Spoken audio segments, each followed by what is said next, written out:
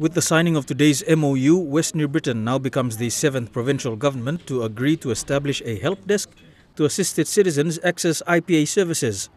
According to IPA Managing Director Clarence Hoot, this is part of the organization's efforts to expand its services in more centers across the country. So by signing the MOUs, there are a number of things that we undertake with the provincial administration.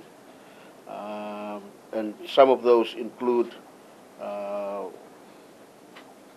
providing all the services that the IPA provides here at headquarters and also in our four regional offices. Uh, in the past, they had to fly over either to Kokopo or to Port Moresby uh, just to, to register a business.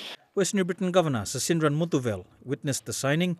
In thanking the IPA for extending its services, the governor said this would assist more people in his province to venture into businesses, particularly given there is a surplus of disposable income in the province.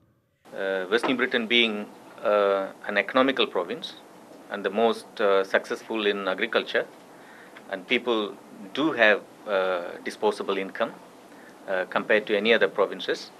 So this is the right move for us to you know have an understanding with IPA, so that as our MD alluded, that people do not have to go all the way to Kokopo or all the way to Mosby to travel, you know, risking sometimes uh, even by road risking life.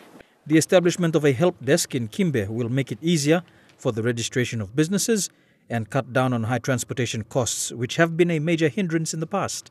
I'm happy that this, uh, this, central, uh, this centralization of uh, the functions to the province and devolving the such powers are giving us the opportunity and privilege now to have our office base in uh, Kimbe. Following the signing, the IPA will send a team to the province to carry out training for provincial commerce staff and bring them up to speed with IPA system requirements.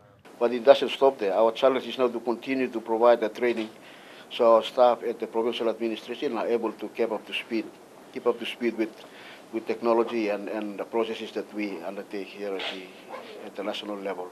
Meribatulo, National EMTV News.